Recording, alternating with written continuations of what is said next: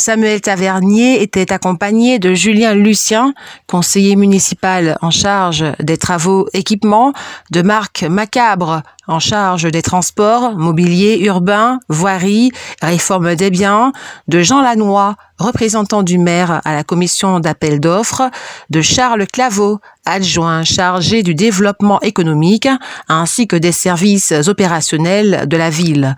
Rappelons qu'à Macabé, quartier situé non loin de Chopotte, la route est pentue et étroite. Les habitants satisfaits de la venue du maire et de son équipe, ont donc évoqué les difficultés d'accès au quartier. Ils ont appris que pour le désenclaver, la ville a prévu de reprendre et d'entretenir la route située en contrebas de Maccabée qui rejoindra le quartier Hauteur-Bellevue.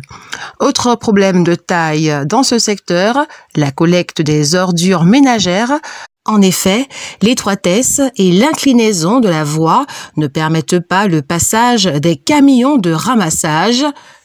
La solution proposée est d'avoir recours à un camion plus petit qui interviendrait par beau temps une fois la voie conduisant à hauteur Bellevue rénovée.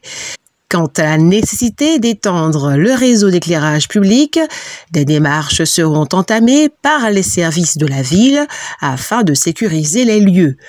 Ajoutons que la question de l'évacuation des eaux pluviales a aussi été posée. Enfin, des problèmes individuels ont également retenu l'attention de la délégation.